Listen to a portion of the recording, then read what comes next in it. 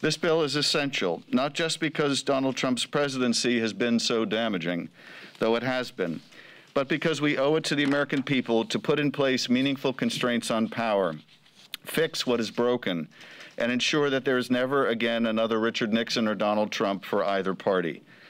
What has become painfully clear is that even in a dangerous world, the threat to our democracy from outside the country is less than the threat from within. The guardrails that have been built over the course of the country's history and strengthened after Watergate have been shaken and broken. Uh, uh, and Chairwoman, and I also want to acknowledge Maxine Waters is doing some very important work. During this once in a generation moment, the Congress has a sacred obligation for the people to defend the, the rule of law and restore accountability and basic ethics to the government. And that is exactly what we are doing with Protect Our Democracy Act. This legislative pact is sweeping, designed to address the president's staggering litany of abuses and ensure that they can never happen again by anyone. They, this package is future focused, uh, intended to restore checks and balances not only during this term, but for any future president.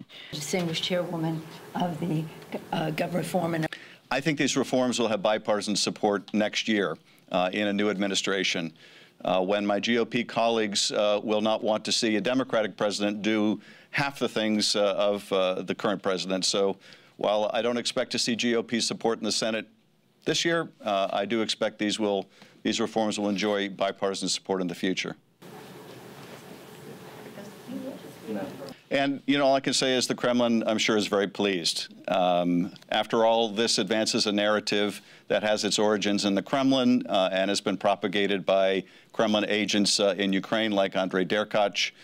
Um, more than that, uh, as uh, Senator Johnson uh, has repeatedly admitted, uh, the point of the report is a political one, to have an impact on the election.